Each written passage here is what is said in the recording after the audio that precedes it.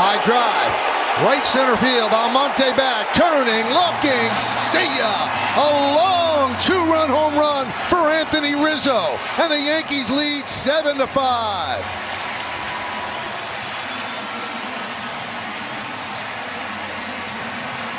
Boy, this is why we were talking about him running earlier in the game. He is going to be such an important part of this offense, his production this year. His 32nd home run of the year.